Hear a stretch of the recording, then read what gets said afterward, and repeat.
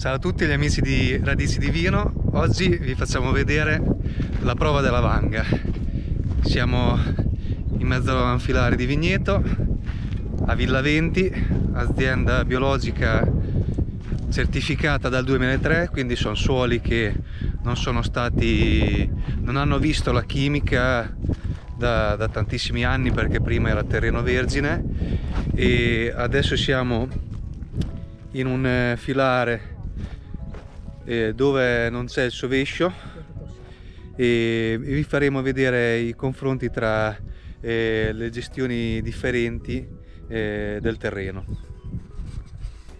Ciao a tutti, la prova della vanga è una prova empirica che permette di mm, fare delle semplici valutazioni ma molto efficaci. Si va fatta chiaramente in un periodo abbastanza preciso che è il momento di tempera, quindi di solito si fa o a inizio autunno o in primavera, evitando il momento di massima bagnatura del suolo. E si procede con um, l'estrazione di una parte di suolo e poi un'analisi de, dello stesso. La prima cosa eh, che si, si fa è si osserva la resistenza del terreno alla penetrazione della vanga. Non so se avete notato, qui con tre colpi è nata giù tutta la vanga. Poi ehm, di, si, tenta di ascoltare il suono che, eh, che, fa il terreno quando si rompe. Quindi un suono di radici, di, di, di terreno che, che si muove. E qui possiamo per fortuna già valutare, se no normalmente si dovrebbe diciamo, spostarsi e fare una, un carotaggio da un'altra parte. Però qui il terreno è, ha una bella struttura e si può già iniziare a valutare. Chiaramente la prima cosa che osserviamo è che questo è un suolo che è stato lavorato, quindi presenta una buona granulometria, l'aspetto iniziale è questo, si può anche osservare il peso della, della vangata, quindi eh, chiaramente questo va fatto facendo più carotaggi, si può eh, percepire se il suolo è più o meno areato. La granulometria è una, è una bella, ha una buona microporosità, il terreno è strutturato, anche se presenta ancora delle, delle, delle macrozollosità. Poi si procede a diciamo, sezionarlo osservando la forma degli agglomerati e la, la loro facilità alla, alla, rottura. Come si vede qui basta toccarli e loro si sfaldano. Si controlla anche la compenetrazione delle radici, adesso questo è una, un suolo appena lavorato come abbiamo detto, quindi non c'è stato il sovescio quindi ci aspettiamo una minor quantità di, di radici. Si osservano le parti di, di sostanza organica in decomposizione, vecchie radici, parti di tralci e cose varie e si può osservare anche una stratigrafia del suolo. Qui come vediamo è molto uniforme il colore, ottimo segno, normalmente si vedono i primi centimetri molto più scuri e la parte più profonda meno colorata. L'altra cosa che possiamo osservare è il modo con cui si rompono gli agglomerati. E come vedete appena si toccano esplodono. Si, si, frantumano in micro agglomerati. Questo è un ottimo segno di struttura. Questa è la parte dove la vanga è andata a toccare. E indica che il suolo si inizia a strutturare a livello batterico perché il suolo si struttura in due modi o tramite gli atmosferici quindi eh, acqua, sole, ghiaccio no, che frantumano eh, i legami meccanici, i legami chimici che ci sono tra le sostanze minerali, oppure tramite i batteri che fondamentalmente colonizzano il suolo eh, e permettono alle radici di, di compenetrarlo, quindi di creare una struttura che è molto più fine e molto più stabile. Eh, la cosa fondamentale è la stabilità, in particolare della struttura microbica, perché mentre quella eh, diciamo atmosferica fatta con gli atmosferili eh, tende a compattare, no? a regredire il suolo, il suolo strutturato microbiologicamente è un, un sistema evolutivo, quindi migliora costantemente. Far vedere la granulometria. Sì, faccio, facciamo un'altra carotina qua di fianco. Ragazzi, va giù che è una cosa impressionante. Ah, meraviglioso.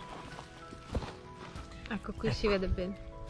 Cioè, questa qui è una, è un, una, una vangata a, a 30 cm. A 30 cm vediamo che il suolo presenta radici finissime, quindi vuol dire che sono radici viventi. Che e questo, a esplorare. Esatto, che esplorano il suolo. E vedete come, la, come si ha questa granulometria meravigliosa. Questo è proprio il, sin, il sinonimo che il terreno si sta strutturando in tutta la sua superficie, in tutta la sua stratigrafia. Ehm, è il presupposto per avere una nutrizione corretta per le viti e soprattutto una, eh, un apparato radicale funzionale che, che, che, possa in qualche modo beneficiare del lavoro eh, che facciamo con, con le lavorazioni con i sovesci. Sì, la differenza grande è che qua stiamo portando vita microbiologica in profondità. Esatto. Vedete, vedete come, come, si sgrana. come si sgrana. Cosa che normalmente invece un terreno non ben strutturato quando, quando si impallina, no? cioè, fondamentalmente regredisce. Invece qui è ricco d'aria, è compenetrato di, di aria, di radici finissime, ricche di peli radicali, quindi è un, è un suolo... L'altro, l'altro aspetto importante, che è difficile da far vedere in video, è mettere il naso dentro il suolo e valutare il profumo. E deve fare un profumo di fungo, di fungo, di sottobosco. Di sottobosco di, di materia organica decomposta e, e questo ha un, ha un, un, odore che si avvicina, è, un odore ancora, eh, non è tanto, molto, mm, eh, come si dire, non è molto intenso, ma inizia a sentirsi questo odore di fungo. Ma soprattutto la cosa importante è che non ci siano odori sgradevoli, perché gli odori sgradevoli, tipo l'odore un po' di fogna o di, di materia in putrefazione, indica eh, asfissia.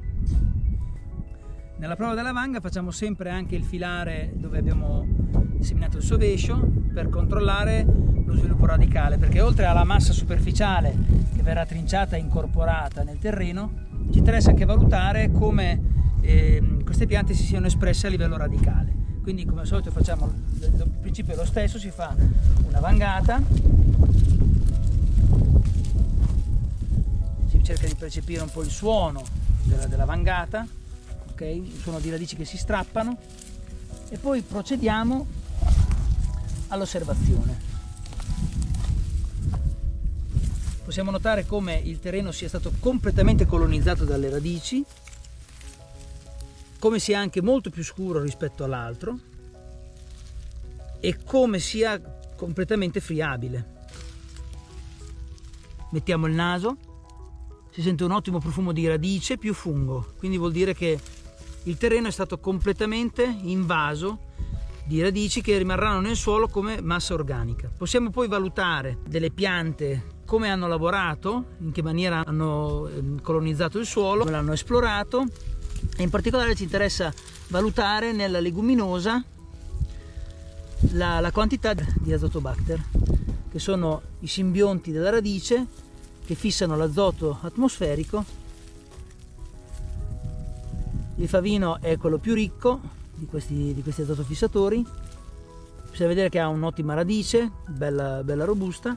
E vediamo la presenza di questi tubercoli che sono gli azotofissatori vedeteci come, come ne è ricca. Chiaramente questi azotofissatori quando la pianta verrà terminata e viene diciamo interrata rimangono nel suolo e lentamente cedono degradandosi azoto il, il nutrimento che arriva dal sovescio è un nutrimento di grande qualità per, per la pianta perché intanto eh, è, a, è, a, lentissima cessione, quindi la pianta lo diciamo che assorbe man mano che ne ha bisogno e sono soprattutto composti molto stabili, non vengono dilavati e se non vengono consumati quest'anno rimangono disponibili nel terreno per l'annata successiva. Quindi è un modo per concimare estremamente efficace perché è azoto che dall'atmosfera viene reso organico, passa attraverso un processo vitale e viene reso organico dai, dai microrganismi che vivono all'interno di questi tubercoli.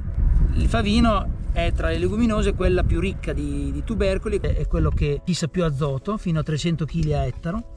Questo è un, è un sovescio plurispecie, vedete che ci sono tantissime specie che si sono sviluppate, quindi questo è ottimo per la biodiversità e per la sanità del suolo. Abbiamo il pisello, abbiamo la veccia, rucola, il foglio, tenape, più una parte di flora spontanea, una multifloreale. Capite guardando questo tipo di suolo quanto sia importante, soprattutto quando si è in, in una zona collinare come questa, il fatto di avere un terreno così poroso perché tutta l'acqua che arriva dalle piogge invece che andare a erodere il terreno arriva in profondità e quindi diventa disponibile per le piante sia quelle annuali come il nostro sovescio che per le nostre viti e allo stesso tempo non abbiamo, non abbiamo i danni da erosione. Spero che questo video possa esserti stato di aiuto, ci vediamo al prossimo video e non dimenticare di mettere un like sul canale Radici di Vino così non ti perderai tutti i prossimi video in uscita. Ciao!